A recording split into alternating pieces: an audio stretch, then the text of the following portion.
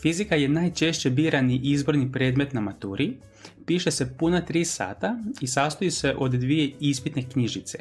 Ispitna knjižica 1 sadrži otprilike 25 zadataka na zaokruživanje, svaki zadatak nosi po jedan bod.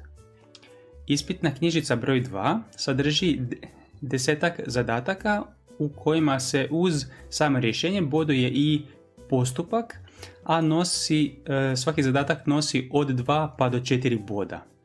Uz to dobiju se i formule, konstante i periodni sustav elemenata.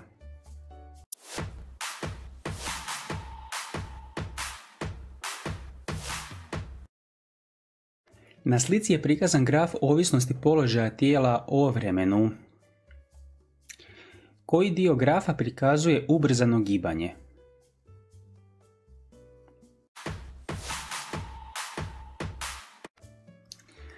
Položaj x i vrijeme t su općenito povezani relacijom x je x0 plus v0t plus 1 polovina at na kvadrat. I nama e, su, su zadali da se traži dio sa ubrzanim gibanjem, a to nam znači u ovom zapisu da nam postoji dio sa akceleracijom, to jest imamo, imamo član e, sa, sa t na kvadrat što kada skiciramo svakako dobijemo parabolu. Zato nam je ubrzano gibanje skicirano na dijelu od a do b i pitali su nas za taj dio, dakle ubrzano gibanje je skicirano na, na dijelu AB, to jest to nam je sad tu pod A. Dio od B do C vidimo da je položaj stalan, a to je, to je definicija mirovanja. A na dijelu od C do D smo dobili da nam je, je položaj proporcionalan sa, sa, sa, vremenom, a to se dobije u ovome zapisu ako posljednji član izbacimo i to je zapis jednolikog gibanja, pa ću tu pisati jednoliko gibanje.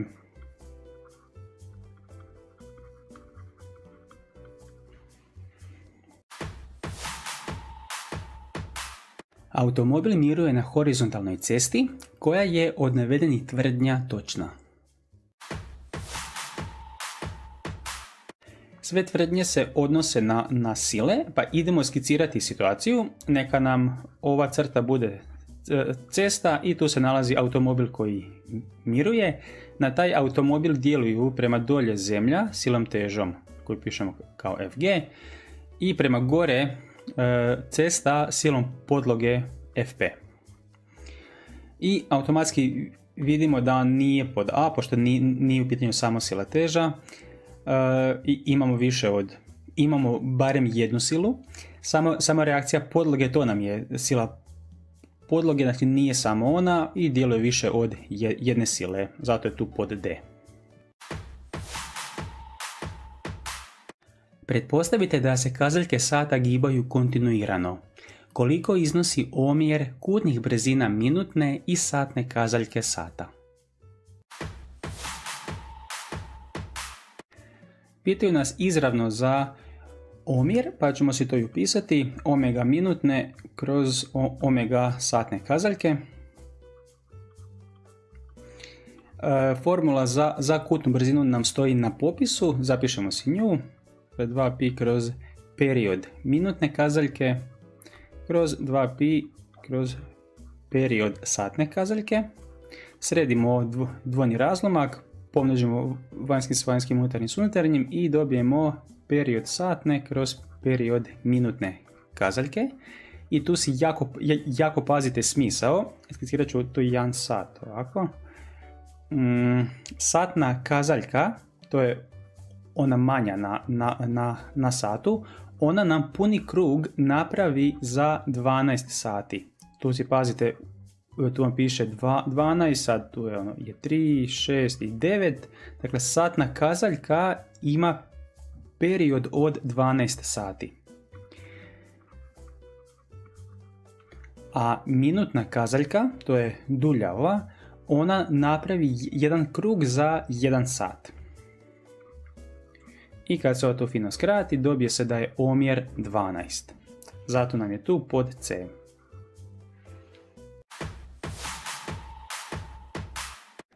Četiri homogena planeta imaju mase kao što je prikazano na slici. Koji bi od prikazanih planeta djelovao najvećom gravitacijskom silom na neko tijelo mase m koje se nalazi na površini toga planeta?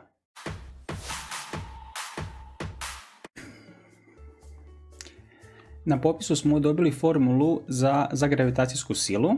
Piše nam da je Fg jednako veliki G, masa 1 puta masa 2 kroz uh, R na kvadrat. Mi ćemo si to izmijeniti sa slovima koja smo dobili. Neka nam je ovaj prvo tijelo uh, neka bude tijelo koje stavljamo na, na planet, to su zapisali da, da mu je masa m, drugo tijelo neka je sami planet, pa ću pisati mp, i ovaj R nam je općenito polumjer planeta plus e, udaljenost od tla planeta.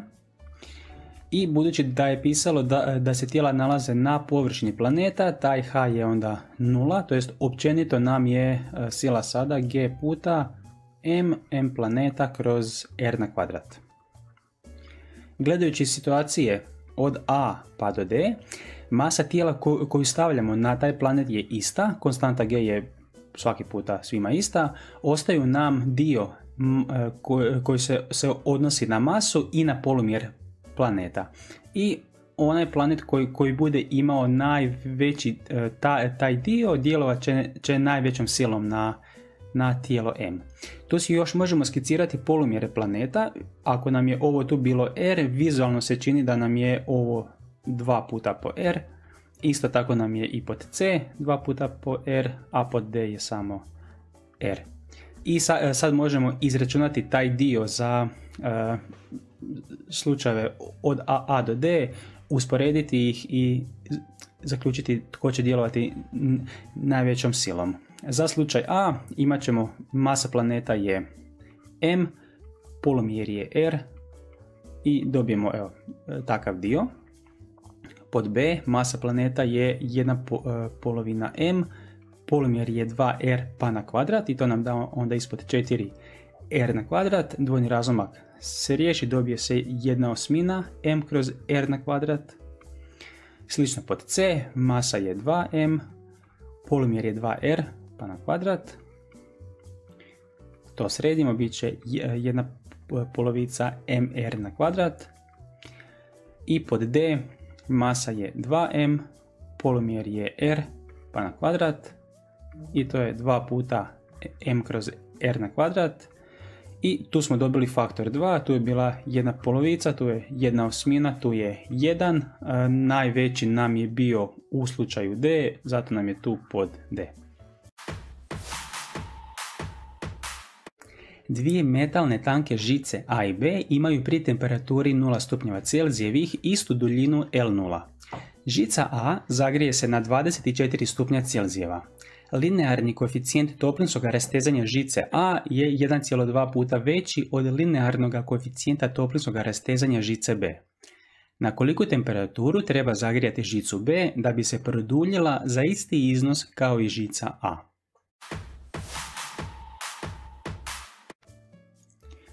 Zapisat ćemo si sve podatke, dakle piše nam da, e, da su početne duljine žica iste, L0A ista kao L0B.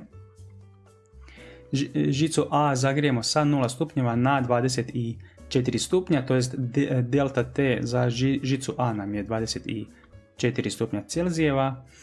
E, linearni koeficijenti su nam e, vezani da, tako da nam je alfa A jednak 1,2 puta alfa B, na koliko e, temperaturu treba zagrijati e, žicu B, pošto i nju zagrijamo sa 0 stupnjeva, kao, kao da nas pitaju za delta T žice B. I još su nam zadali da se žica B ovaj, produljila za, za, za isti iznos kao žica A, to jest e, delta L žice A je isti kao delta L žice B. Taj dio nam je, je, je zgodan jer znamo e, vezu između e, početne i konačne duljine žice, to nam stoji na, e, na, na popisu, a dio delta L nam je zapravo skriven tu unutra. Ako desnu stranu pomnožimo svaki sa, sa, sa svakim, onda prepoznamo e, delta L kao zadnji član tu. I stavimo li to nazad e, tu, dobit ćemo jednadžbu s jednom nepoznanicom, pa spojimo sa to nazad. Umjesto delta LA pišemo L0A puta alfa A puta delta TA jednako je L0B puta alfa B puta delta TB. Pisalo je da su nam početne duljine iste, to skratimo i izvučemo delta TB van. Delta TB će nam biti onda alfa A puta delta TA kroz alfa B. Stavimo što, što znamo, alfa A nam je 1,2 puta alfa B puta delta TA je 24 kroz alfa b, tamo nam se skrati alfa b i alfa b i delta tb nam onda ispadne 1,2 puta 24 1,2 puta 20 malo 1,2 puta 24 28,8 stupnjeva Celzijevih i to je tu pod C. U jednoj zatvorenoj posudi nalazi se helij, a u drugoj zatvorenoj posudi argon pri jednakim temperaturama. Pretpostavite da su plinovi idealni. Kakav je odnos srednjih kinetičkih energija atoma navedenih plinova?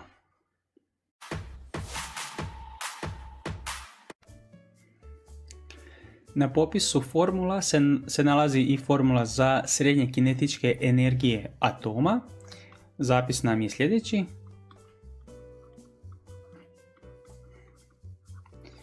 I zadali su da su e, plinovi na istim temperaturama, što znači da im je u ovome zapisu e, T isti broj, K je i tako konstanta, ovo to su, nam brojevi, što znači da im je svaki dio uh, zapisa isti, a to znači da su im kinetičke energije jednake. Zato nam je tu točan odgovor pod B. Na slici je prikazan Q delta T graf za tri različite tekućine jednakih masa. Koji je od navedenih odnosa točan za njihove specifične toplinske kapacitete?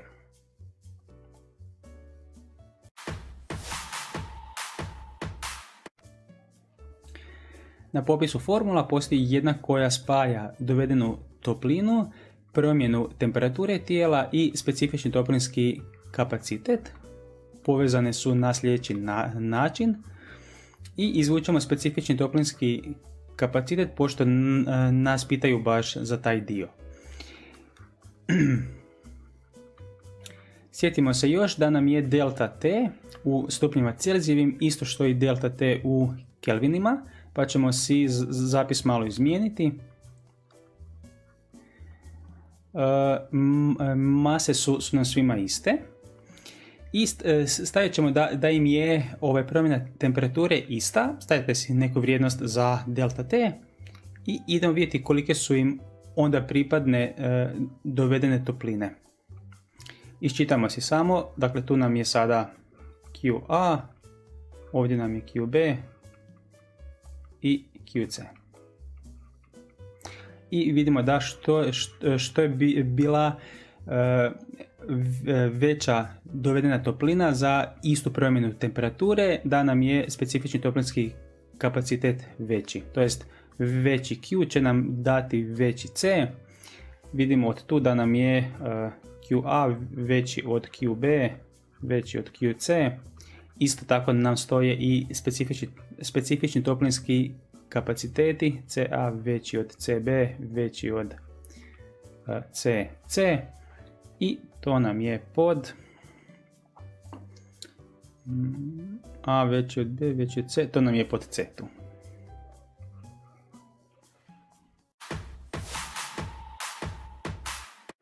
Hladni je spremnik Carnova toplinskog stroja pri temperaturi T pri kojoj će od navedenih temperatura toplijega spremnika korisnost toga stroja biti najveća. Formula za korisnost vam je na popisu. Pazite si samo što nam znači koje slovo. T2 je temperatura hladnijeg spremnika, a T1 temperatura toplijeg spremnika. Nama nude da se temperatura toplijeg spremnika može mijenjati sa T pola, T2, T ili 3T e, i samo si, e, si, si gledamo smisao da želimo dobiti najveću korisnost. E, najveću korisnost ćemo dobiti kada od jedinice oduzmemo najmanji mogući dio, a to ćemo dobiti kad nam je temperatura toplijeg spremnika naj, najveća. Dakle, najveći nazivnik nam da najmanji razlomak koji će onda najmanje umanjiti ovu jedinicu. To jest želimo dobiti najveću temperaturu toplijeg spremnika, a to nam je tu pod D. Možete s time, možete staviti neke brojeve pa, pa izračunati korisnost.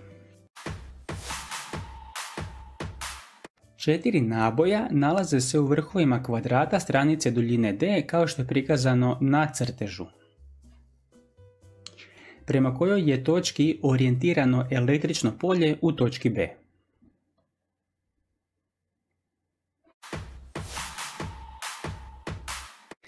Kuglicama možemo dati imena da ih razlikujemo i skicirat ćemo električno polje svake od tih kuglica na mjestu B.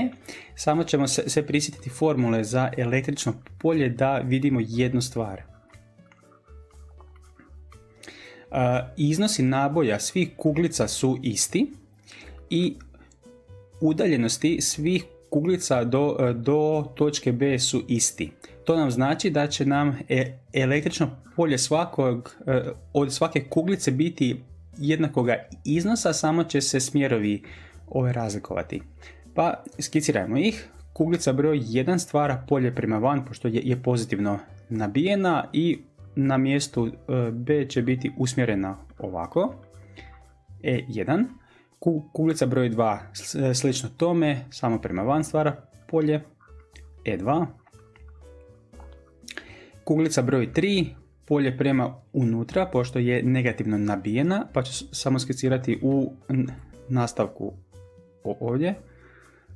E3 i e, slično to, tome kuglica 4, polje prema sebi, E4, E, E2 i zbrojimo ih sada samo za kraj zbrojimo ih, imat ćemo tu jedno veće polje i ovdje i kad zbrojimo sve to, dobit ćemo da je ukupno polje usmjereno prema točki E. e ukupno prema točki E i to nam je tu pod C.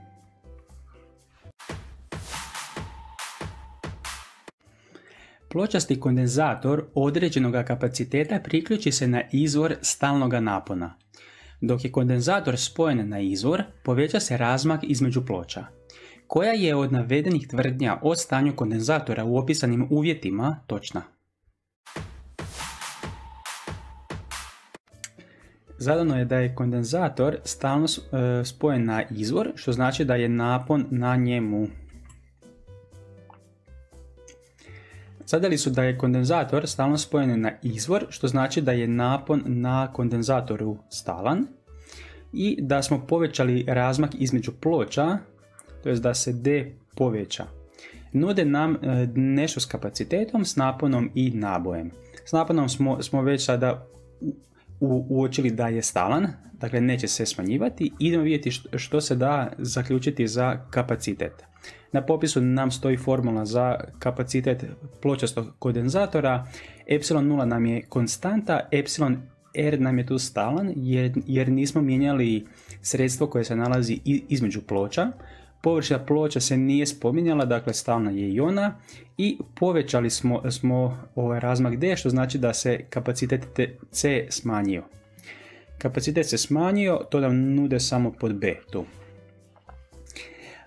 I još ćemo, ćemo samo iskomentirati za naboj. E, iz definicije kapaciteta kondenzatora možemo vidjeti što se događa s, nabojem Q. Izvučemo Q van i uočili smo da je napon stalan i da se kapacitet C e, smanjio, a to znači da se i naboj na, na pločama kondenzatora smanjio. Na slici je prikazan EU graf za dvije metalne žice jednakih duljina načinjenih od istoga materijala. Koji je od navedenih odnosa za električne otpore R1 i R2 i promjere žica D1 i D2 točan?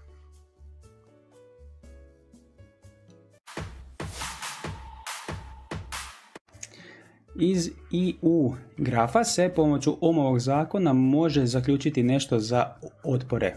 Izvučemo R1, U kroz I i možemo gledati kakve su im struje za jednaki napon. To jest stavimo li da im je napon isti, e, evo na primjer neku vrijednost napona, pogledamo kolike su bile struje. Ovdje ćemo imati struju I1, ovdje struju I2. Vidimo od tu da nam je struja I1 veća nego struja I2. A od tu što je veća struja za isti napon, otpor nam je manji. To jest, zaključimo, ako je struja I1 veća, da je otpor R1 manji.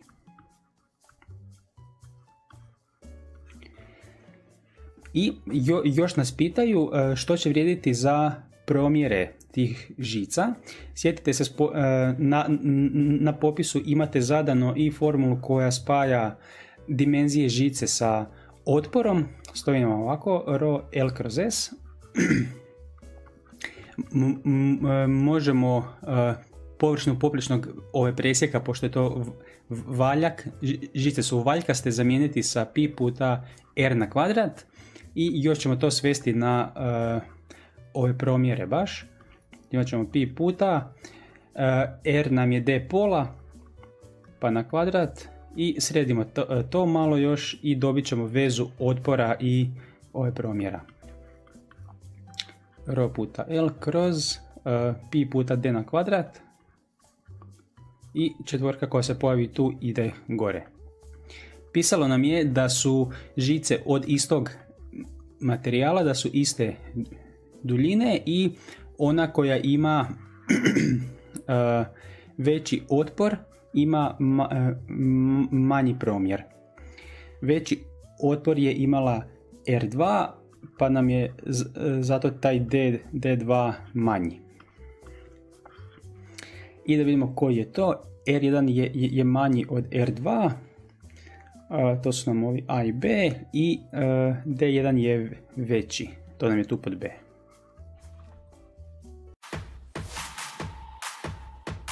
Vodljiva strujna petlja stalnom brzinom V ulazi u homogeno magnetsko polje indukcije B okomito prema silnicama toga polja kao što je prikazano na slici.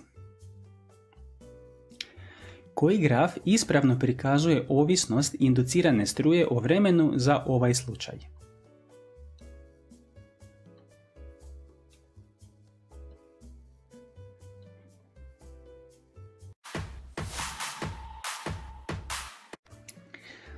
Cilj nam je dobiti ovisnost inducirane struje o vremenu dok se petlja giba prema desno.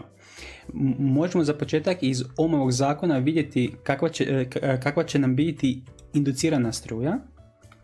Dakle, inducirani na, napon kroz R. Inducirani napon nam je dan sa minus n puta delta phi kroz delta t iz Faradayevog zakona i izbacit ćemo neke članove ispred.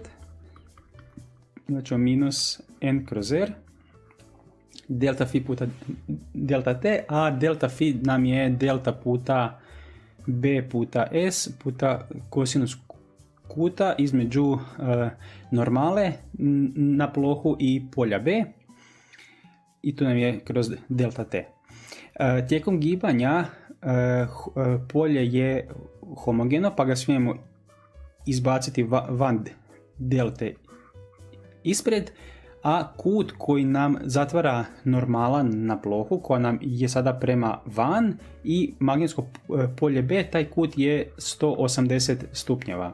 i pošto se, tamo spominje kosinus od 100, 180 stupnjeva, to nam je minus 1, tako da će se taj minus 1 uh, poništ, uh, skratiti s minusom koji je tu i dobit ćemo da je inducirana struja n kroz r, b izbacimo van i ostane nam samo delta s kroz delta t.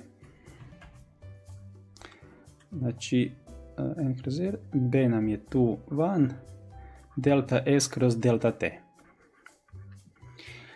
I sad vidimo da se tijekom gibanja ne mijenja broj zavoja petlje, znači o, i, imamo stalan broj n, materijal i debljina žice sve to nam je, je stalno, tako da je otpor žice stalan. Za, za, za polje B nam piše da je homogeno, dakle ima isti iznos i smjer i ostaje nam član, samo član delta S kroz delta T.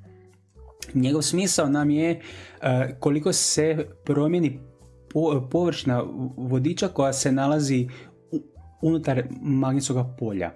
I sad možemo promatrati dio dok nam petlja još nije unutar polja, pa nam je delta S zapravo nula, to jest na početku dok još e, petlja nije ušla u taj dio s poljem nema inducirane struje.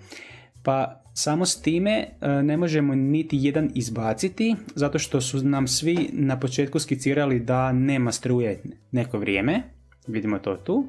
I sad se nešto događa kod svih, pa idemo vidjeti hoće li se struja povećavati, hoće li biti stalna, e, povećavati tu i tu. I idemo vidjeti smisao. Dakle, dok sama petlja ulazi u magnetsko polje, sve će veći dio njene površine biti, biti unutra.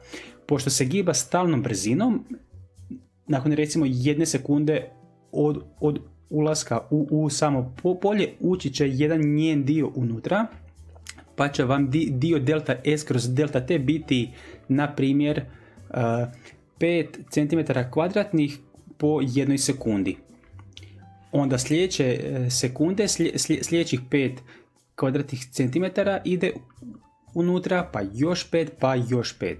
Drugim riječima, dok e, ova petlja ulazi u, u magnetsko polje, ovaj član delta S kroz delta T će biti stalan a ako je stalan on, a bilo nam je, je, je stalno i sve što je tu, in, inducirana struja dok, dok petlja ulazi u magnetsko polje će imati neku stalnu vrijednost.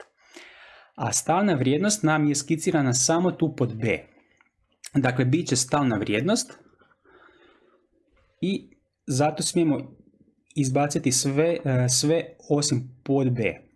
Ovaj sljedeći dio, kad nam je inducirana struja nula, nam se dogodi kad je, kad je cijela, cijela petlja već ušla u to polje i nema promjene uh, površine uh, te strujne, strujne ove petlje, a zadnji dio, kad nam je struja negativna, to vam znači da vam je ta petlja već počela napuštati dio s magnetskim poljem, evo stavit ćemo je tu, tako da je sada površina koju, e, koja je unutar polja se smanjuje u biti, pa bi nam to bilo recimo svake sekunde se smanji za, minus, za, e, za 5 cm kvadratnih, ali smanjuje se svake sekunde za, za isti iznos, pa je onda e, struja stalna, ali pošto se, se smanjuje struja je i o, o, promijenila svoj, svoj smjer.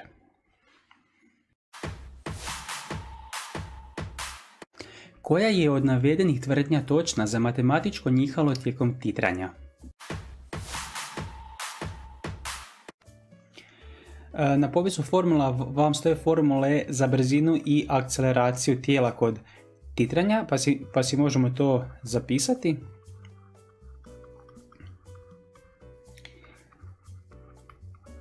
I ono što iz teorije općenito znamo je da kad je jedna od njih maksimalna, druga je minimalna. Tako da s time možemo izbaciti uh, A i B jer ne mogu istovremeno u istome položaju imati uh, tipa minimalnu vrijednost. I, idemo vidjeti još pod C i D. Ako skiziramo situaciju, dakle matematičko njihalo nam je neka špagica spojena, neka kuglica spojena na, na špagu i kako se giba prema de, desno u položaju ove, ove ravnoteže će brzina kuglice biti maksimalna. A to nam je, kako su tu stavili, brzina tijela u amplitudnom je položaju maksimalna, to nam nije. Tako da nam tu ostane samo pod C, da, da brzina i, i akceleracija nikad nisu istodobno jednake nuli. Val amplitude A prostire se brzinom v kroz neko sredstvo. Kada prijeđe u drugo sredstvo, brzina mu postane 2v. Koja je od navedenih tvrdnja točna za valnu duljinu vala u drugome sredstvu? Na popisu formula su nam dali e, formulu koja spaja valnu duljinu i ovaj brzinu širenja vala. E, možemo se ispitati što se zbiva s valnom duljinom, izvučemo ju van, dobit ćemo tu v, v puta t, možemo to zapisati kao v kroz f, zato što, zato što, što znamo kada val mijenja sredstvo e, širenja da je frekvencija vala ista, zato što je izvor, izvor vala nije, primijenio svoja svojstva.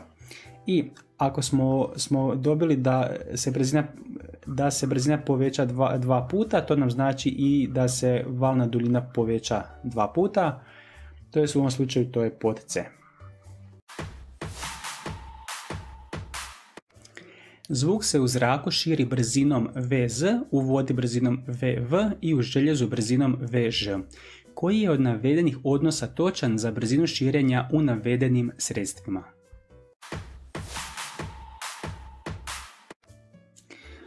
općenito vrijedi da je, je brzina zvuka u metalima veća nego u tekućinama i veća nego u ove plinovima. Tako da bez, bez nekoga postupka to bi trebali znati i iz teorije. Brzina zvuka u željezu je najveća, onda u vodi pa u zraku. Zato nam je tu pod D. koliko iznosi upadni kut zrake svjetlosti koja iz zraka upada na površinu vode ako se reflektirana zraka vrati u izvor.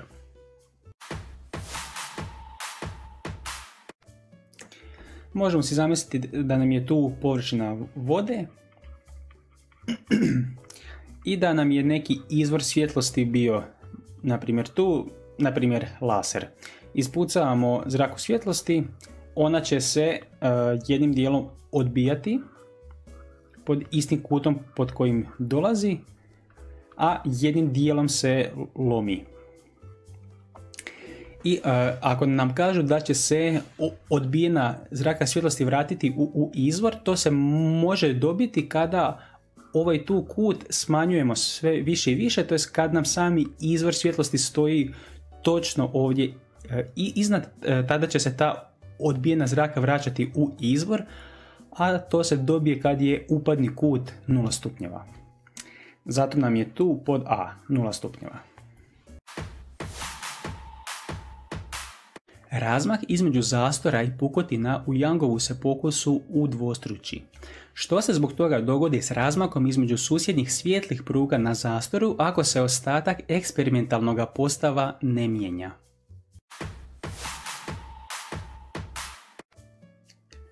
Na popisu formula nam stoji formula za uh, valnu duljinu u Youngovom pokusu i tu nas pitaju što će biti s razmakom pruga kad se poveća razmak uh, zastora i, i pukotina, pa izvučemo taj S1, lambda A kroz D, lambda nam je ostao isti, E, D nam je ostao isti, poveća se udaljenost dva, dva puta, isto se dogodi i s, s razmakom pruga, zato nam je tu dvostruko se poveća, pod C. Koja je od navedenih tvrdnja o magnetskom polju radiovalova točna? Iz teorije znamo da su nam električno polje magnetsko polje i smjer širenja vala svi, svi međusobno okomiti. Znači tu nam je 90 tu i tu. To nam je jedino stavljeno pod, pod C. Da je magnetsko polje istovremeno okomito i na električno polje vala i na smjer širenja vala. Elektron se giba brzinom 1 km u sekundi. Kolika mu je valna duljina? Možemo se poslužiti formulom za Debroljevu valnu duljinu i e, količinu gibanja promijenimo sa formulom m puta v i sad stavimo samo podatke za, za masu e, elektrona, za njegovu, njegovu brzinu i za planku konstantu. Kad sve to ubacimo, Idemo vidjeti što se dobije, plankova konstanta. E, sve te stvari vam pišu tamo na u konstantama. Minus 30. I pazimo samo e, da brzinu prebacimo u metre po sekundi, dakle pomnožimo sa 1000 samo i svedemo na e, mikrometre ovdje vidjeti 0,727 mikrometara, znači to je tu pod C. Znači, ja, ja dobio sam ovako 0,727 puta 10 na minus 6 metara i to je tu pod C.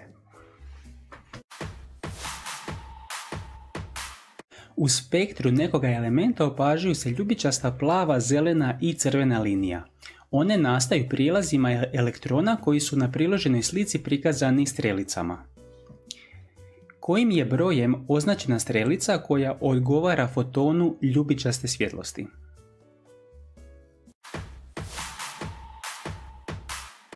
Možemo si za početak staviti podsjetnik za valne duljine e, za ljubičastu plavu, zelenu i crvenu svjetlost.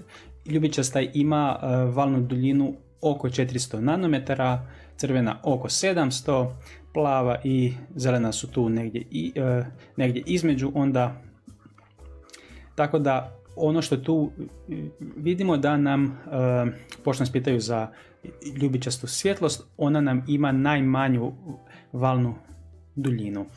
E, na popisu formula vam stoji i veza između ovih prijelaza, dakle pišem da je energija fotona jednaka E n minus em i da se energija fotona može pisati kao h puta f ili u malo drugačijem zapisu kao hc kroz lambda, pošto se brzina vala može pisati kao lambda kroz t, to jest lambda puta f, a za fotone nam je brzina zapravo c, pa si zamijenimo ovaj tu f sa c kroz lambda i dobijemo takav zapis.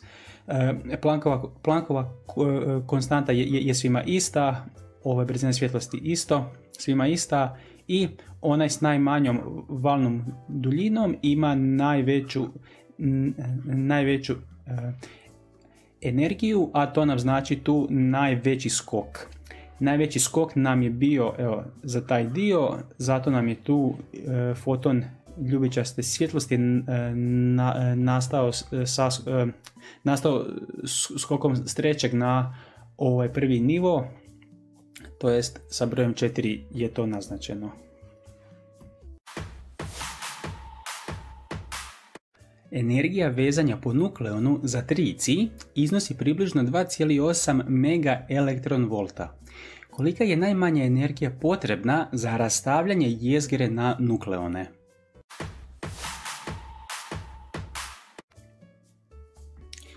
Dobili smo 3 pa je minimalna potrebna energija 3 puta po 2,8 mega pošto imamo samo 3 nukleona. Dakle, ukupno je to minimalno 8,4 mega to jest pod C.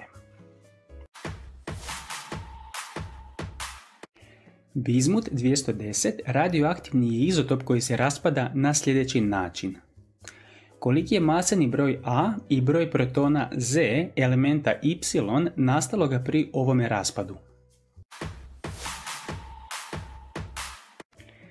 Počinjemo s bizmutom iz e, periodnog sustava elemenata si iščitate da mu je atomski broj 83. maseni broj su, su stavili 210 i počinjemo sa beta minus ovaj raspadom, dakle dobit ćemo neku jezgru plus elektron i jezgra nam onda ima atomski broj 84, jer kad zbrojimo taj, taj dio dobijamo ovaj broj s početka. Maseni broj na, na, na, nam ostaje isti. I sada od tu idemo dalje sa alfa raspadom, dakle dobit ćemo neku novu jezgru plus alfa, alfa česticu. Također e, gledamo logiku da nam je ovaj tu broj jednak taj plus taj, dakle tu će nam pisati 82. Isto i ovdje iznad za, e, za maseni broj bit će nam 206. I sad si, si od tu e, iščitamo da ova jezgra ima 82 ove protona, znači 82 protona, a da je maseni broj 206 maseni broj 206. Mm, koji nam je to onda? Protona ima 82, maseni broj 206, to nam je pod B. Kapetan u svemirskom brodu zatitra tijelo ovješeno o oprugu frekvencijom F0 mjereno u sustavu broda. Pretpostavite da se svemirski brod giba u odnosu na Zemlju nekom relativističkom brzinom koju bi od navedenih frekvencija titranja F istoga tijela mogao mjeriti motritelj sa Zemlje.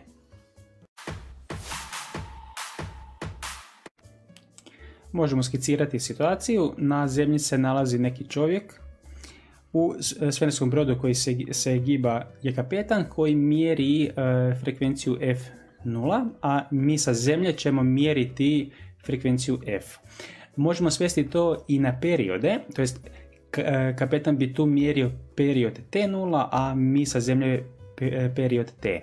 Zbog dilatacije vremena znamo da, da će ono što mi, što mi mjerimo e, biti veće u, u, u odnosu na ono što je izmjerio kapetan, a zbog veze između frekvencije i perioda obrnuto nam vrijedi za frekvencije, to jest f će biti manji od f0. A to nam je jedino ponuđeno uh, pod d. Dakle, manji broj od f0. Sunce je zvijezda koja je vidljiva zbog svjetlosti koju odašilje u svemir. Koliki se postotak svemira sastoji od vidljive tvari? Ovo je pitanje iz teorije, dakle vidljiv je jako mali dio svemira, a to je pod A, manje od 10%.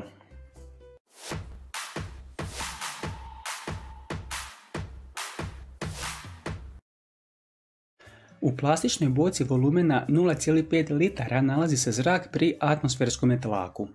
Zrak se smatra idealnim plinom. Kada se boca stisne, tlak zraka u boci poveća se za četvrtinu njegove početne vrijednosti. Koliki je konačni volumen zraka u boci ako mu je temperatura stalna? Počnemo e, s volumenom kojega znamo. Znači, početni volumen je 0,5 litara ili 0,5 puta 10 na minus treću metara kubnih nalazi se pri atmosferskom tlaku. Početni tlak u, toj boci je atmosferski, to nam stoji na, popisu iza, ova vrijednost. E, kad se boca stisne, tlak zraka u boci poveća se za četvrtinu njegove početne vrijednosti, to jest novi tlak je stari tlak plus jedna četvrtina njegove stare o, vrijednosti, to je ukupno onda 5 četvrtina od P1 i e, pitaju nas koliki je konačni volumen zraka, dakle koliki je V2 ako je temperatura stalna, to je T2 isti kao T1. E, možemo probati sa općom plinskom jednadžbom. Ako nas pitaju za volumen i izvučemo to van i pokušamo staviti u omjer. Dakle, V2 kroz V1 nam da onda nrt kroz p s oznakama 2 svuda, kroz isto to s oznakama 1.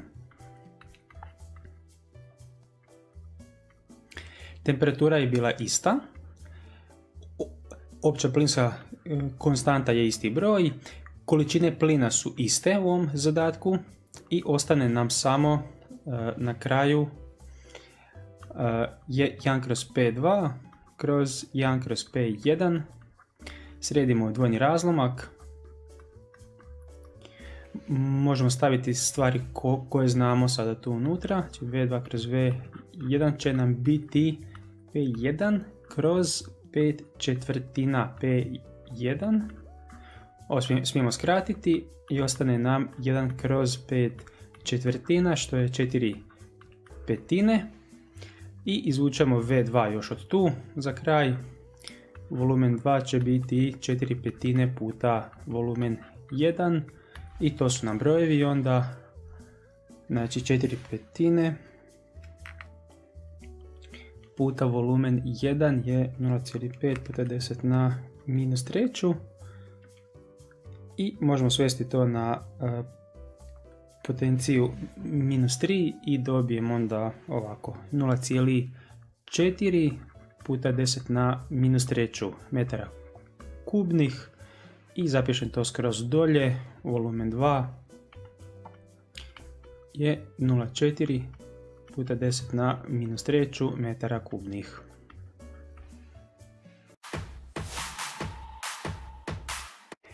Svjetlost upada iz zraka na obojeno staklo indeksa loma 1,5. Koliko iznosi upadni kut svjetlosti ako je kut loma svjetlosti 1,30 stupnjeva? Stavimo si skicu za početak. Neka nam je tu iznad zrak, dolje nam je staklo. I zrak ćemo pisati e, s oznakom 1, staklo sa 2. I stavimo si ovdje vertikalu. Zraka svjetlosti nam dolazi iz zraka, lomi se u staklo, djelomično se tu odbija ponovno u zrak. E, dobili smo kut loma, beta. Samo malo. Betu znamo. Upadni kut nam je cilj. I dobili smo ovako, pošto je iznad zrak, znamo da je n1 jednak 1, n2 nam, je za staklo, 1,5, kut loma je 30 stupnjeva i pitanje za upadni kut alfa. Možemo si zapisati zakon loma, sinus alfa kroz sinus beta, jednak je n2 kroz n1 i od tu vučemo van kut. Pomnožimo sve sa sinus beta.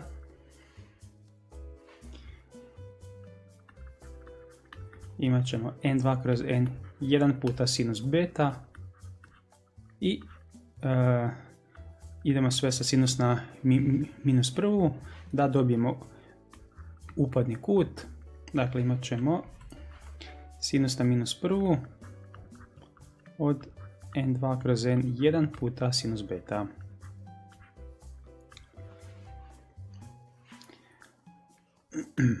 To su nam brojevi, idemo to upisati. Shift sin, pa, znači shift sinus od 1,5 kroz 1, provjerimo samo brojeve, tako, 1,5 kroz 1 puta sinus od 30 i dobijemo kut.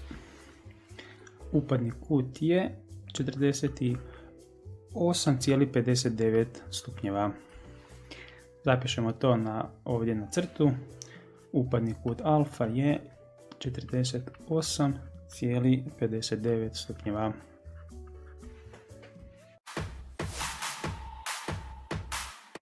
U čaši se nalazi voda na koju se pažljivo nalije ulje tako da se ne miješa s vodom. U čašu se potom stavi tijelo nepoznate gustoće tako da pluta između tekućina i potpuno je u njih uronjeno. Kolika je gustoća tijela ako se 45% njegova volumena nalazi u vodi? gustoća vode je 1000 kg po metru kubnom, a gustoća ulja 900 kg po metru kubnom. Možemo staviti skicu situacije. Tijelo se nalazi između dva, dva sloja. Jedan sloj je voda, to nam je donji sloj. I gornji je ulje. I iz konteksta zadatka zaključimo da tijelo miruje. Ako tijelo miruje, tada vrijedi ovaj prvi Newtonov zakon, to jest zbroj sila na to tijelo je nula. To jest ukupna sila je nula. Sile koje, koje nam postoje tu su prema dolje sila teža Fg, prema gore sila, sila uzgona od vode, dakle Fu od vode i sila uzgona od ulja FUU. Stavimo si da nam je, je na primjer pozitivan smjer gore, negativan dolje. U, u, u tom slučaju ćemo imati za ukupnu silu F uzgon od ulja plus F uzgon od vode minus Fg jednako je nula.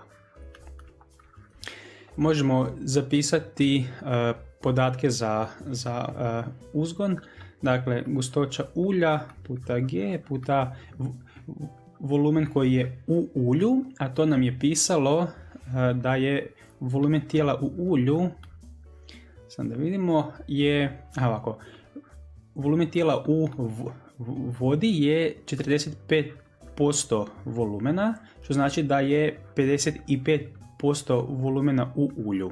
Možemo zapisati to s decimalnim zapisom, ovako.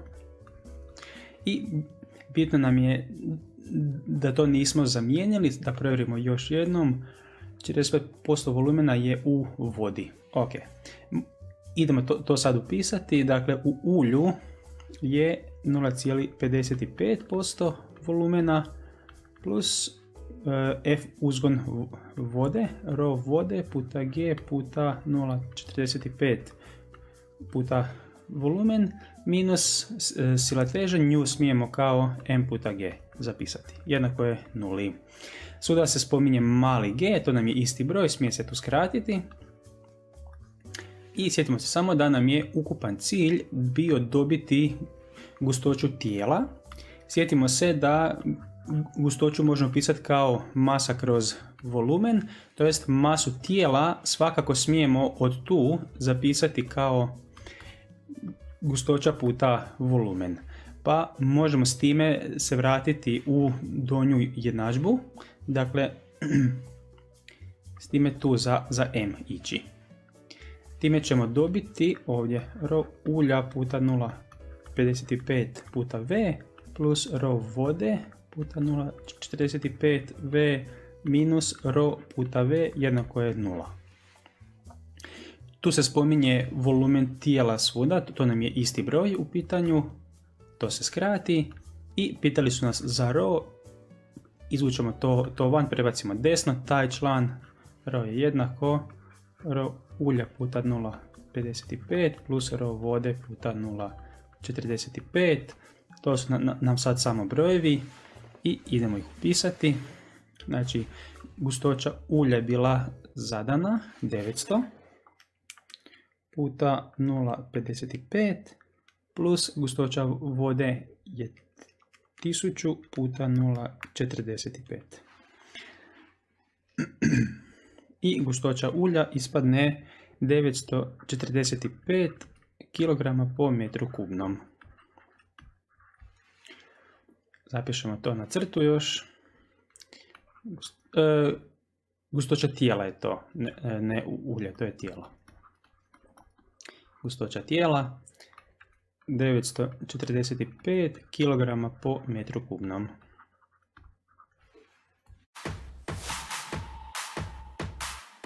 Koliko se nekom u idealnom plinu mora izotermno dovesti topline kako bi mu se pri normiranom atmosferskom talaku volumen povećao s 4 metra kubna na 6 metara kubnih. Zapišemo što smo dobili, temperatura nam je stalna,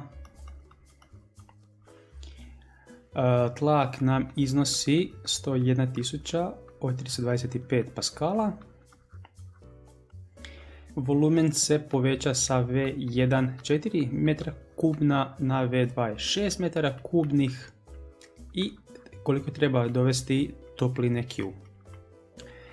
Iz konteksta vidimo da je zgodno zapisati prvi zakon termodinamike, za nam je Q jednako V delta U plus V i budući da je ova promjena izotermna, delta U koji se može zapisati kao ove tri polovine nk delta t nam je sada nula zato što nam je delta t nula bio.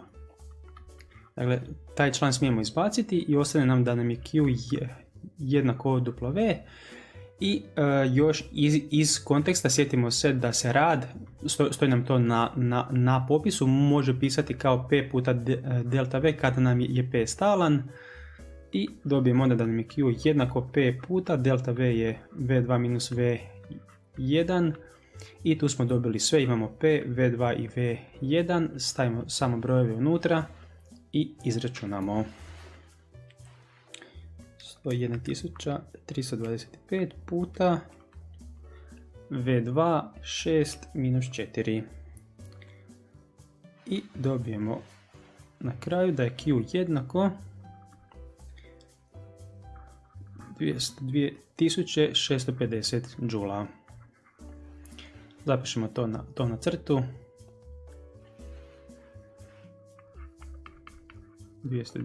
202.650 džula. Pločasti kondenzator kapaciteta 44 pikofarada spojen je na izvor napona U. Između ploča kondenzatora je zrak. Kada se kondenzator, dok je i dalje priključen na izvor napona, stavi u ulje relativne permitivnosti 2,59, količina naboja na pločama kondenzatora promijeni se za 35 nanokulona. Koliki je iznos napona U?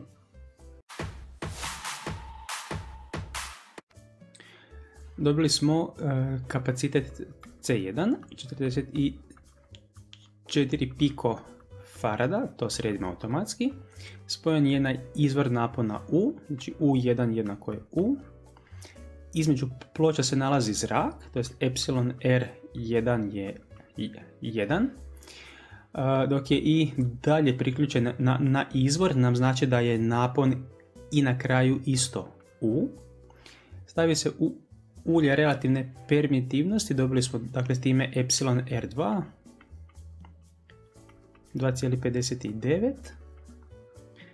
Količina naboja na, na pločama se promijeni za, za 35 nanokulona, s time smo dobili delta Q i zapisat ćemo ga za početak plus minus od 35 nanokulona jer nismo sigurni još hoće li se količina naboja povećati ili smanjiti za taj iznos i pitaju nas za napon U. Koliki je napon U? Idemo vidjeti e, za, za, za taj delta Q što će biti s njim. Na popisu vam stoji da je kapacitet e, Q kroz U. Izvučemo Q van, Q nam je C puta U i e, pošto nam je U stalan, idemo vidjeti još što se događa s kapacitetom C kako bismo mogli zaključiti što je sa Q. E, C ćemo izmijeniti sa formulom za pločasti kondenzator, pišem tamo epsilon 0 epsilon R S kroz D, još sve to puta U. Napon nam je stalan, površna ploča isto, ovaj razmak isto stalan, epsilon 0 je stalni broj i vidimo da, da dolazi do, do povećanja naboja zato što smo povećali epsilon r s jedinice na 2, cijeli nešto, da, dakle s povećanjem ovoga tu se poveća i naboj Q. To jest, ovaj tu član ćemo pisati s plusem. Znači plus će ići, to ćemo se iskrižati onda. Taj dio tu ćemo iskrižati. Ok, e, pošto, smo, pošto smo dobili dvije, situacije, idemo probati sa omjerima. Na primjer, e, od tu mogli bismo zapisati da nam je recimo Q1 kroz Q2 jednako, e, tu će nam se skratiti sve osim epsilon R1 kroz epsilon R2. To nam je jedna jednadžba u kojoj znamo uh, ova dva, dva, dva dijela, ostaju nam nepoznanice Q1 i Q2 i idemo pronaći još jednu jednadžbu sa istim tim nepoznanicama.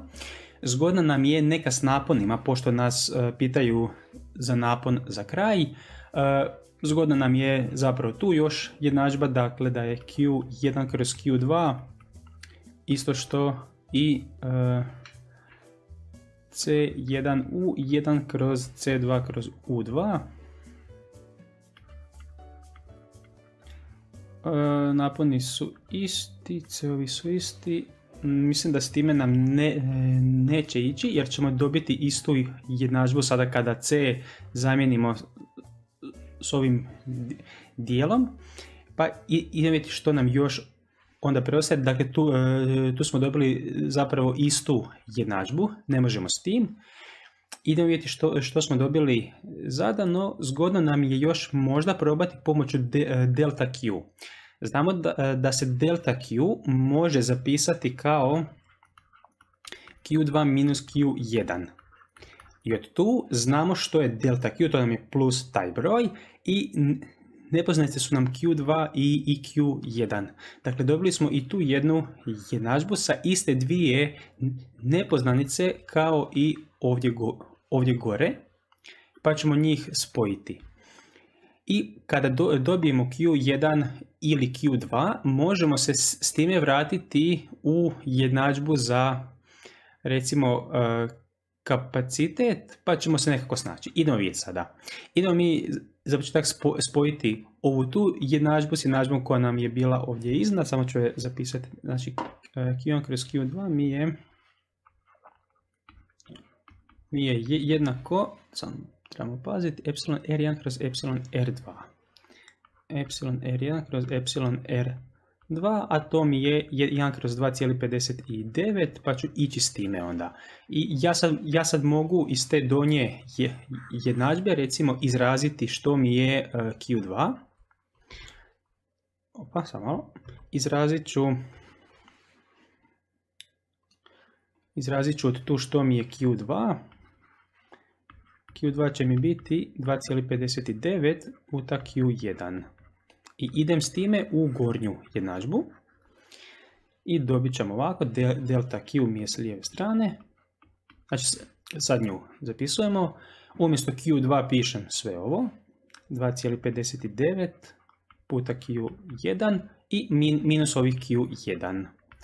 To mi da s lijeve strane 1,59 Q1. To je jedinica iako dijeli kao dvojka. I sada od tu s lijeve strane delta Q znam kao broj, 1,59 mi je broj i dobit ću Q1. Izvučem Q1 od tu, delta Q kroz 1,59 9, to ću izračunati. Dakle, delta Q mi je zadan. 35 puta 10 na minus 9 kroz 1,59. To je, znači Q1 mi iznosi 2,2013 puta 10 na minus 8 kulona to mi je Q1. S time uh, idem vidjeti mogu li sad već s tim dobiti uh, na, napon. Da se vratimo ovdje iznad, da vidimo. Recimo, ako bismo išli tu, Q1 imam, C1 uh, imam od početka i mogu dobiti U. E pa super. I, idemo samo još to zapisati. Dakle, dobili smo Q1 i znamo od prije da mi je... Uh, Q1 jednako C1 puta U1, izvučemo tu U1 van, to mi je Q1 kroz C1, to su mi, mi brojevi, Q1 sam sad bio upisao i dijelim to sa C1. 44 puta 10 na minus 12. I dobijem mm, rješenje. Ako zaokružim na, to na tri znamenke, tu slobodno mogu 500 vata. I zapišemo tu da je napon U jednak 500 vata. Već smo prije zapisali da je taj napon stalan. Stoji nam zapisano tu da je U1 isti kao U2.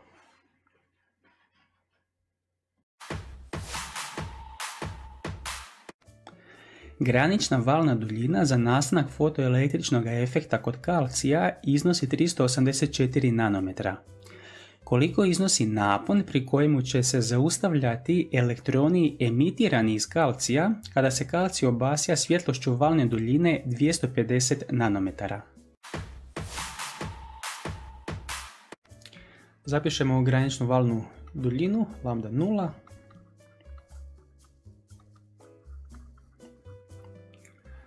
Pitaju nas za zaostavni napon, UZ,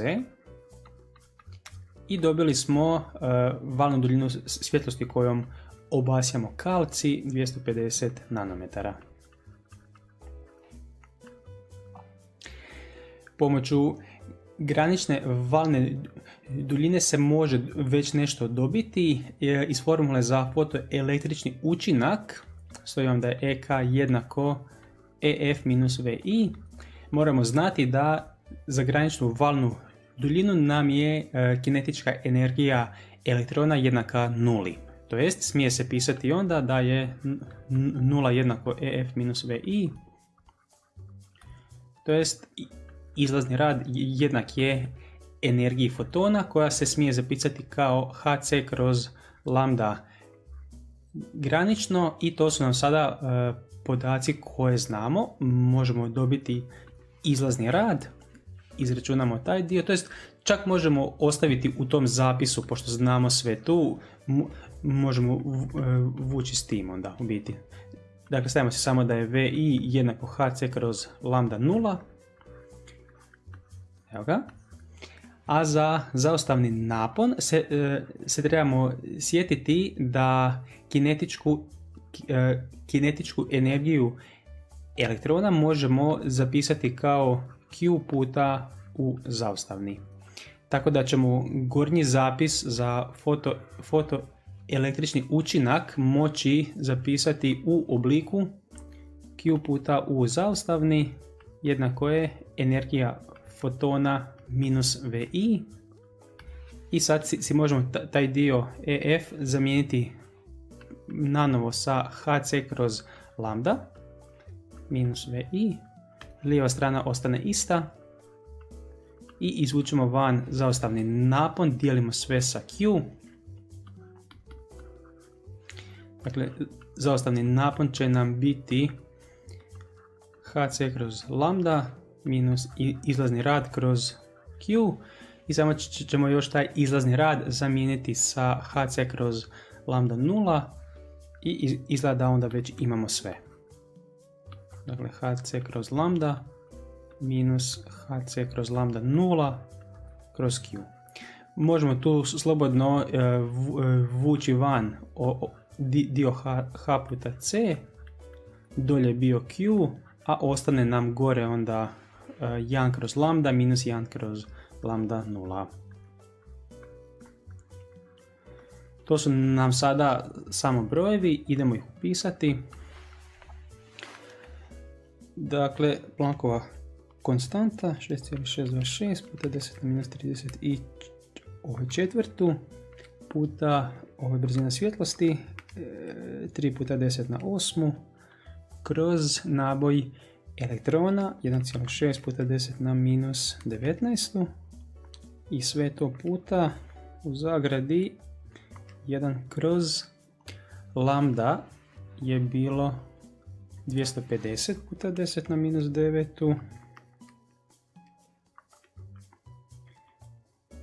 minus 1 kroz lambda 0 je 384 puta 10 na minus 9. i dobijemo zaostavni napon od 1,73 volta.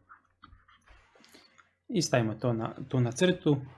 U zaostavni je 1,73 volta.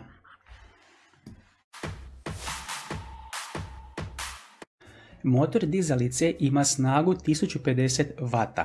Teret mase 300 kg dizalica podigne na visinu 8 metara za jednu minutu. Kolika je korisnost te dizalice? Zapisat ćemo sve što smo dobili. Uložena snaga 1050 W. Masa e, tereta je 300 kg. Podigne se na, na visinu, dakle to nam je neka, neka konačna e, visina, pa tu si, si, pretpostavimo da počinjemo sa tla, to je sa visine od 0 metara.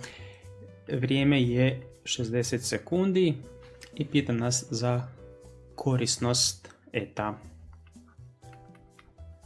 Korisnost se, se, se može općenito zapisati kao uh, samo malo, uh, koristan ovaj rad kroz uloženi rad i sjetimo se još formule za snagu. Stoji nam na popisu i to, zato što se od tu može rad zapisati kao P puta T, to jest ovaj, ovaj uloženi rad se može zapisati kao uložena snaga puta T. A to znamo, znamo dakle taj P i T i a ako pronađemo još koristan rad, tada imamo sve. Idemo se iskicirati situaciju pa, ćemo, pa ćemo se vratiti još tu. E, započinjemo sa tla i dizalica digne e, neki teret s položaja 1 na, na položaj 2 i pošto nam nije pisalo stavit ćemo sami da nam, e, da nam taj, taj teret miruje i, i na položaju 2 i na položaju 1. I sada možemo probati pomoću zakona očuvanja energije e, dobiti taj rad. Idemo to isprobati, zapišemo si zakon očuvanja energije.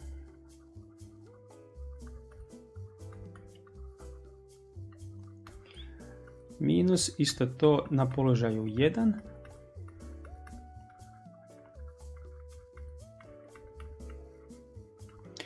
I gledamo sada smisao što se sve, sve smije izbaciti.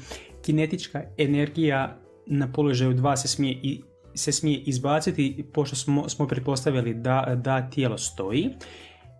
Gravitacijska potencijalna nam tu postoji zato što, što, što tijelo više nije, nije na, na tlu. Elastična potencijalna nam ne postoji, ništa se nije spominjalo u tom smislu. Kinetička e, na položaju 1 također se smije izbaciti, tijelo stoji. Gravitacijska potencijalna isto se smije izbaciti pošto je sada tijelo na, na, na tlu. Elastična se nije niti spominjala, tako da, da dobijemo da je rad jednak EGP2, a to nam je samo MGH2. Tako da ćemo se vratiti sad s time e, dolje. Dobijemo da je E, koristan rad MGH2 kroz P puta T.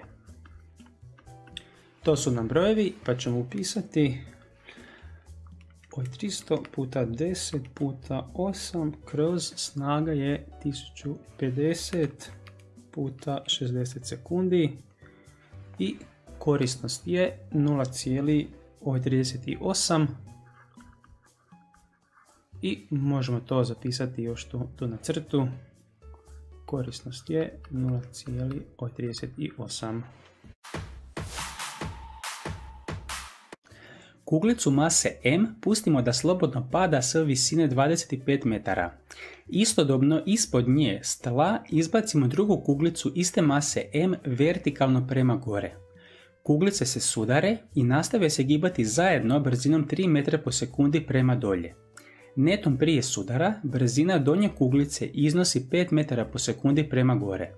Otpor zraka je zanemariv, na kojoj su se visini iznad tla kuglice sudarile.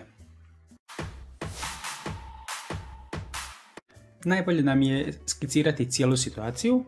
Dakle, stavimo si pod i piše da smo kuglicu broj 1 ispustili s neke visine koju ćemo pisati sa veliko H. Znači, tih H nam je 25. Kuglicu broj 2 smo izbacili sa tla sa brzinom nekom koju ne znamo. I tu nam spominju e, e, neke stvari netom prije sudara tih, tih kuglica pa ćemo si skicirati baš tu situaciju prije, prije nego se slupaju. Dakle, kuglica broj 1 se e, sada giba prema dolje, kuglica broj 2 se giba u vis. I tu nam daju da je brzina kuglice broj 2 netom prije sudara 5 metara u sekundi prema gore.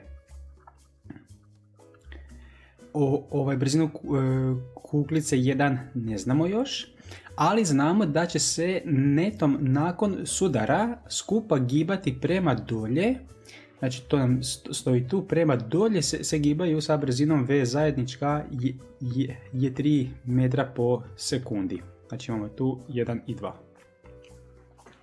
Znajući to, pitaju nas na, na, na kojoj su se visini iznad tla kuglice sudarile, to jest pitaju nas koliki je uh, ovaj tu H, pisat ću ga sa HS kao sudar i tu ću još staviti H1, zatreba limit taj dio. možemo početi sa sudarom, dakle imamo jednu situaciju tu, netom prije sudara i netom nakon sudara, pa smijemo zapisati zakon, zakon očuvanja količine gibanja. još ćemo se samo upisati da su mase kuglica iste, dakle M1 je isti kao M2, i za e, sudare su nam e, smjerovi jako važni. Stavit ćemo si da nam je dolje plus, a gore da je minus smjer. I zapišemo e, sada zakon očuvanja količine gibanja. Za prvu situaciju kuglica 1 ide u plus smjeru. Dakle, imat ćemo m1 puta v1. Kuglica broj 2 ide u minus smjeru. Dakle, imamo da minus m2 v2 jednako je, nakon sudara se spoje pa im je masa 2m i idu u plus smjeru, zato, zato nam je tu plus i tu još puta vz. Evo ga. Uh, umjesto m1 smijemo pisati m, umjesto m2 isto m, tako da će se sve, sve to će se skratiti i od tu imamo zadan v2, znači ovo tu znamo, Imamo zadano VZ, znamo i ovo, i možemo dobiti što nam je V1. V1 nam je onda 2VZ plus V2. To su na brojevi, V zajednička je 3, znači to će biti onda 6 plus V2 je 5, znači V1 je 11 metara po sekundi.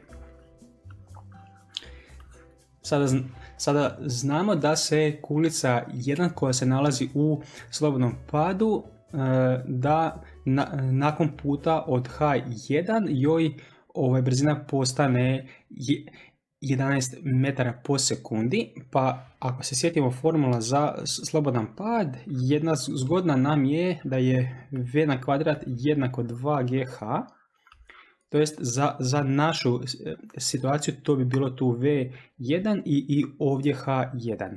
I sad s time se da dobiti H1 budući da imamo V1, 2 i G. I kada dobijemo H1, znajući i veliko H, dobit ćemo HS. Znači izvučemo se od tu H1. H1 će biti V1 pa na kvadrat kroz 2G neka, neka nam to stoji. I sa slike se vidi da je veliko H jednako H1 plus HS. Izvučemo HS van i imamo sve onda. HS će biti H minus H1, to jest H minus V1 na kvadrat kroz 2G. To su nam brojevi sada, smijemo sve ubaciti unutra i visina sudara će biti, H nam je bilo 25 minus 11 na kvadrat kroz 2 puta 10. I sudare se na visini 18,95 metara. I stavimo to još tu, tu na crtu. HS je 18,95.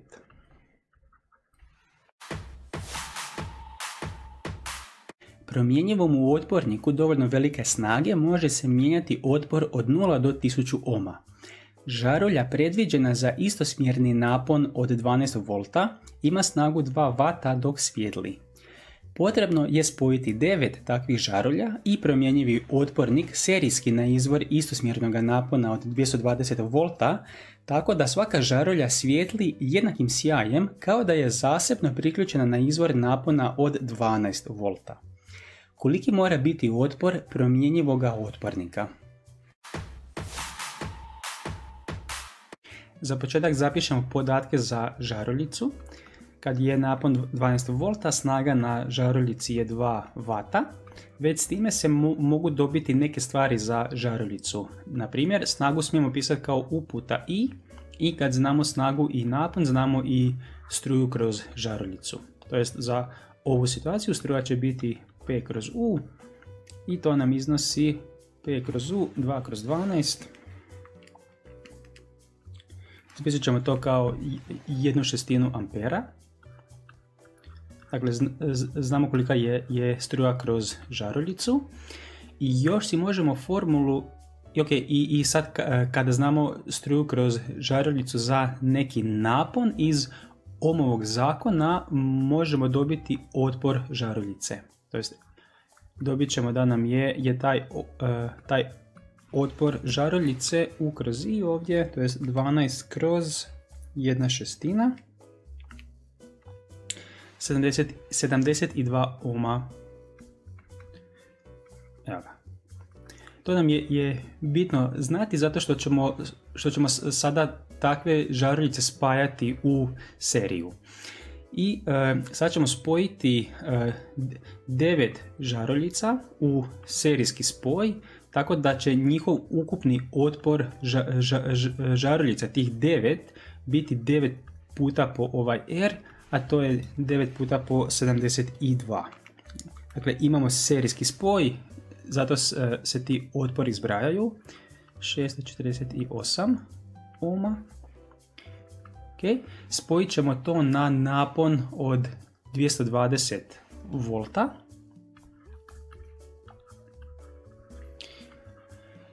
i želimo dobiti da nam žaruljice jednako sjaje kao, e, kao prije, a tu nam je, je sjaj sinonim za snagu. To jest želimo da im je snaga sada opet ovih 2 vata. I pitanje je, pitanje je koliki treba biti otpor do, dodatnog otpornika RO da bi se to dogodilo. Um, idemo vidjeti e, što se može skicirati. Stavimo si struni krug. Tu nam je sada 9 žaruljica stavljeno i neki otpornik. Još. Evo Napon U znamo da je 220 volta. Otpor svake žaruljice je 72 e, ohma svake i nepoznati otpor nam je još tu. Možemo zapisati što nam je ukupna struja tu i ukupno će biti ukupan na, napon kroz ukupan otpor, a to će biti 9 puta po R žaruljice plus RO. I od tu znamo napon U. R žaruljice znamo. Kada bismo znali još struju, imali bismo sve. I sad samo idemo vidjeti uh, smisao. Tamo nam je pisalo da želimo dobiti jednaku snagu. I sad si još možemo nešto ispitati od tu. Snaga se može pisati kao u puta i ili zamijenimo li ovaj u e, iz ovog zakona od tu kao i puta r, imat ćemo ovako i puta r puta još i jednako je i na kvadrat puta r. Sad želimo li mi dobiti jednaku snagu za žaruljicu čiji, su nam otpori stalni, tada trebamo kroz te žaruljice prepustiti jednaku struju kao što je bila. To jest, time zaključimo da, da će nam struja sad u toj novoj situaciji iznositi ponovno jedna šestina kao što je bilo i na početku tu. I sad s time imamo i struju i samo e, vučemo van ovaj nepoznati član, pomnožimo sve s nazivnikom i vučemo van. Dakle, imat ćemo 9R žarulje puta I plus RO puta I jednako je U. Sve što nema taj član ide desno i sredimo to sad, sad malo. Dakle, imat ćemo tu RO puta I jednako je U minus 9R žaruljice puta I i vučemo van RO, podijelimo sve sa I U minus 9 RŽ puta I. To su nam brojevi. Stavimo. Napon je bio 220 minus 9 puta R žaruljice. To smo čak dobili cijeli taj dio, ali nema, tu, tu nam je bio, ali to nam je ista stvar. 72 i puta struja I je jedna šestina ampera puta jedna šestina kroz opet struja i jedna šestina i dobijemo da, da je otpor 672 ohma. Evo, to ćemo si tu upisati. RO 672 ohma. Tijelo mase 100 grama titra harmonijski amplitudom 10 cm i periodom 12 sekundi. Početni fazni kut iznosi 0 radijana. Koliki je iznos sile na tijelo u trenutku kad je proteklo 2 sekunde od početka titranja? Možemo skicirati situaciju e, da se tijelo e, giba horizontalno, spojeno je s oprugom nekom i giba se lijevo-desno neizmjenično. Dobili smo zadanu masu tijela 100 grama, amplitudu 10 cm i period 12 sekundi. Početni fazni kut Φ 0 je 0. Koliko, koliki je, iznos sile na, tijelo, pošto je, je tijelo spojeno sa oprugom, pita se za iznos elastične sile kada je vrijeme 2 sekunde. Eh, elastičnu silu općenito možemo zapisati kao k puta x, gdje nam je x za eh, harmonijsko titranje a puta sinus omega t plus fi nula. Od tu eh, znamo a, omegu možemo zapisati s popisa isto kao 2pi kroz t i tu sve znamo onda puta t plus fi nula. Znači sad tu znamo A, imamo 2P, imamo ovaj T, T, Fi nula znamo i još samo K moramo dobiti.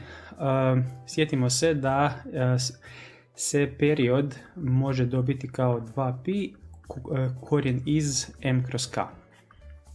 I od tu imamo T, imamo M, možemo dobiti K.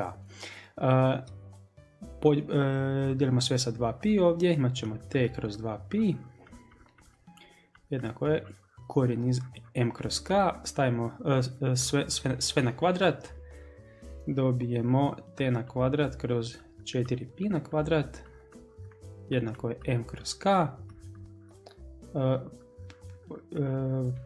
pomnožimo sve unakrsno, imat ćemo k puta t na kvadrat je 4 pi na kvadrat puta m i izvučemo van k.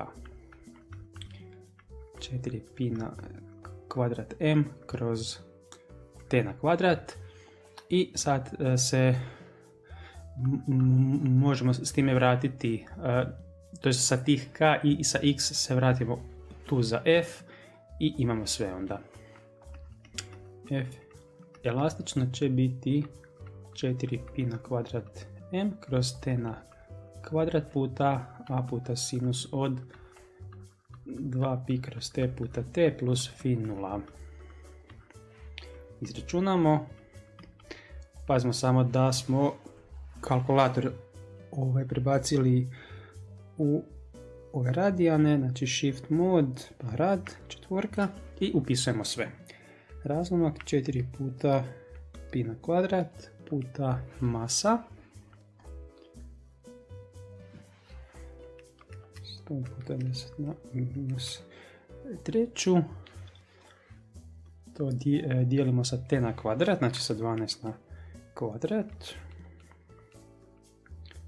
Samo malo, 12 kvadrat, ok, puta amplituda 10 ovaj centimetara puta sinus od opet 2 puta pi kroz 12 puta vrijeme je bilo 2 sekunde i plus 0 i izračunamo i dobijemo za elastičnu silu 2,37 puta 10 na minus treću njutna. Evo ga. 2,37 puta 10 na minus treću njutna. Na slici su prikazani potkovasti magnet i ravni vodič. Učenici su na satu fizike dobili zadatak da istraže silu kojom homogeno magnetsko polje djeluje na vodič kojim prolazi struja i nalazi se u tome magnetskom polju. Na crtu napišite redni broj sile koju učenici trebaju istražiti uz pomoć prikazanog pribora.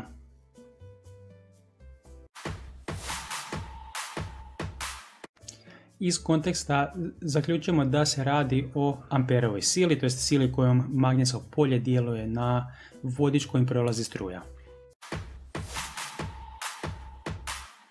Učenici su dobili zadatak da ispravno označe polove magneta prema smjeru struje u vodiču i smjeru sile koja je djelovala na vodič.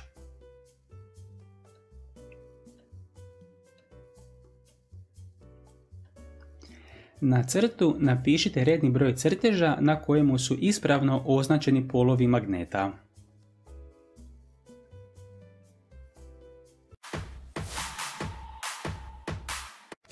Ovo ćemo ispitati pravilom desne ruke. Dakle, s palcem desne ruke idemo u smjeru struje. S prstima idemo u smjeru magnetskog polja koje je tu, je, je tu skicirano prema dolje. I sila nam je onda uvijek iz dlana prema van. Ako je to desna ruka, onda nam skica pod jedan valja. To jest pod 1 je ok tu.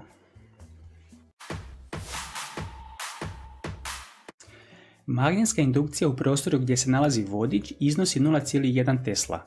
Duljina vodiča na koji djeluje sila iznosi 3 cm, a struja kroz njega 0,5 A. Silnice magnetskog polja okomite su na vodič. Koliki je iznos sile kojom magnetsko polje magneta djeluje na vodič? Zapišemo podatke. Magnetska indukcija 0,1 Tesla.